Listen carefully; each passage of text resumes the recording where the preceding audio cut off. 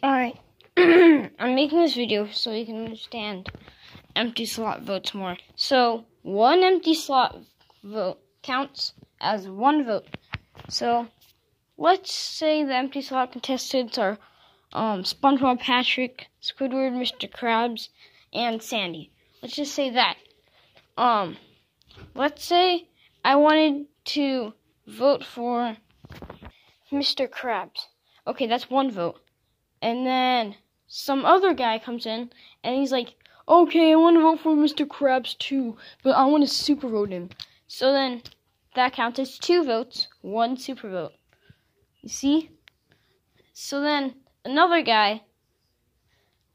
well, let's say at the end you have Mr. Krabs has four votes, one super vote. Squidward has four votes, and SpongeBob has three votes, two super votes.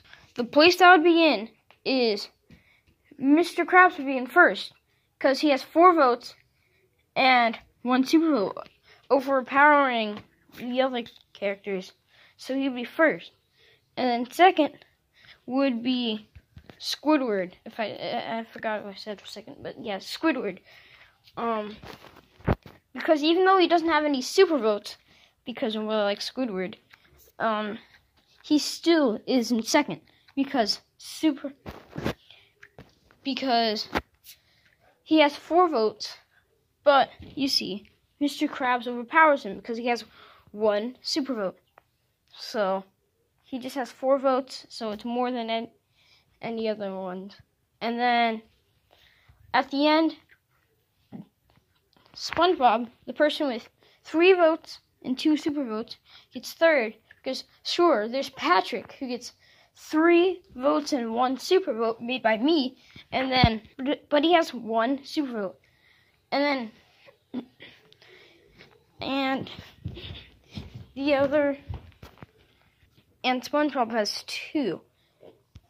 And let me tell you the, mo- let me explain the most confusing part let's say nobody voted for that character, but I got two super votes.